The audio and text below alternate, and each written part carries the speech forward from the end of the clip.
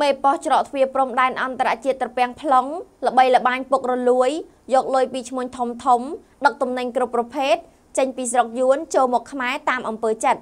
ក្រុមហ៊ុន OS Rival Marketing Cambodia សម្ផស្សសុខភាពឧត្តមភាព Dream Firmix 3 មិនចាក់មិនលេបមិនវះកាត់គ្រាន់តែលីបប៉ុណ្ណោះ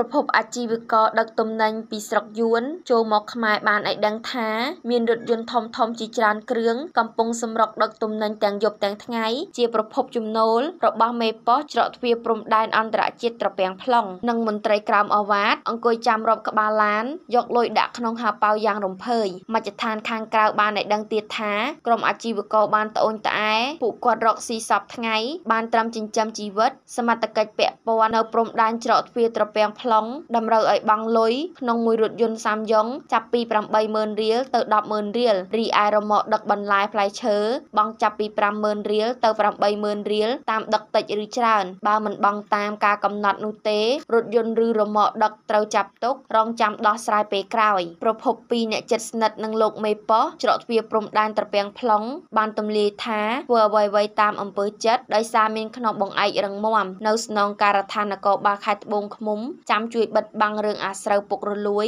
ដើម្បីរក្សាដំណ័យរបស់ខ្លួនអាជីវករដឹកទំនិញទាំងតូចទាំងធំបានสนំពរដល់លោកមុនមីគាស្នងការស្នងការដ្ឋាននគរបាលខេត្តត្បូងឃ្មុំមេត្តាចាត់វិធានការក្តៅនិងត្រួតពិនិត្យទៅលើមេប៉ោះច្រកទ្វារព្រំដែនត្រពាំង plong កំពុងតែសប្បាយចិត្តប្រមូលលុយបែបអំពើពុករលួយហើយធ្វើឲ្យបាត់បង់នៅថវិការដ្ឋក្នុងមួយឆ្នាំមួយឆ្នាំមិនតិចទេ ស្លា Grand View ជឿជាក់លើទេពកោសល្យបុត្រធីតារបស់អស់លោកអ្នក